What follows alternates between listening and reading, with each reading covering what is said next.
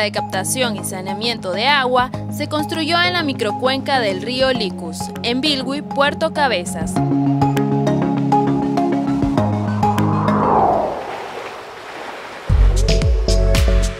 con el fin de llevar el vital líquido a la población del municipio y sus comunidades.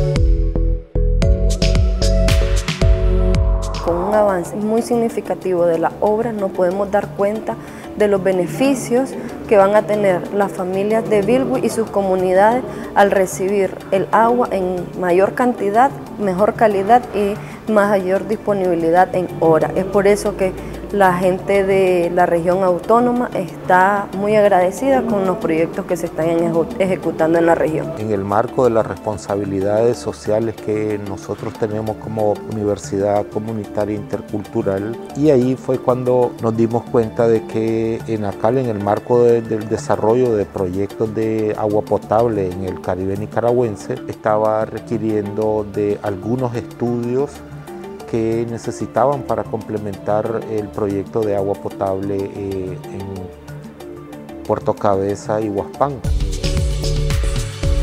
Este proyecto forma parte de un convenio de colaboración entre Huracán a través del IREMADES y ENACAL. Previo a la construcción del proyecto, el IREMADES realizó una investigación sobre las especies de la zona que podrían resultar afectadas y propuso a ENACAL una serie de medidas compensatorias. El proceso es no solamente entonces el proyecto de monitoreo de flora y fauna, sino que cómo hacemos para fortalecer a las comunidades que tienen que ver con el agua.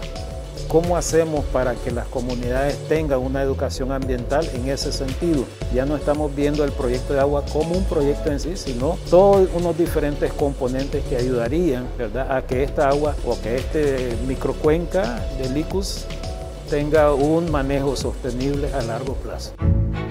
La investigación se hizo con el propósito de proteger los recursos naturales de la zona, pues el proyecto se desarrolla sobre el territorio misquito que comparten las cuatro comunidades Huanquitui, Tasbarraya, Tui Yabra, Tahuira y Caratá. Las recomendaciones se están implementando. Esperamos a partir de la fase de operación de las obras del proyecto hacer un segundo monitoreo, el cual vamos a estar evaluando si realmente el funcionamiento de este proyecto va a afectar de alguna manera al funcionamiento biológico o a la diversidad biológica de la fauna que está, actualmente tenemos en la costa caribe, que son parte de nuestras riquezas naturales.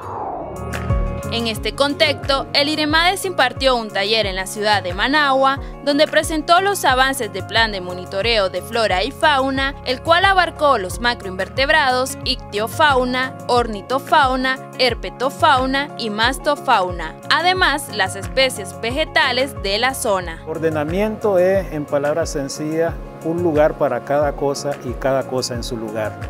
Y esto lo han ejercido las comunidades o digamos los pueblos indígenas de hace tiempo. Cumpliendo con el consentimiento previo, libre e informado que estipula el convenio 169 de la OIT, Huracán dialogó durante todo el proceso con las y los comunitarios, protegiendo así la biodiversidad de los pueblos de la costa caribe. Para Huracán, Abigail Seas. Huracán, la primera universidad comunitaria intercultural en América Latina.